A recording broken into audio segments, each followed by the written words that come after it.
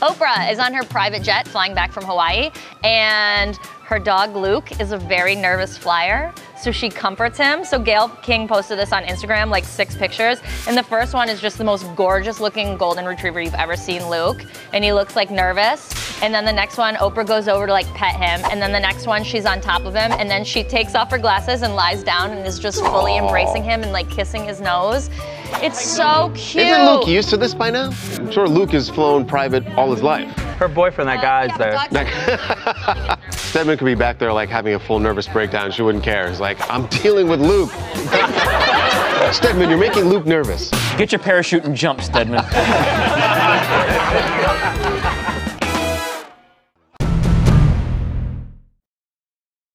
We're TMZ. If you like our vibe, subscribe. We'll send you more.